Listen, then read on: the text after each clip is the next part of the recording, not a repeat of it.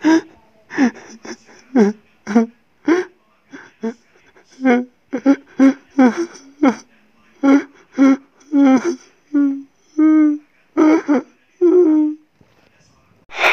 motherfucker!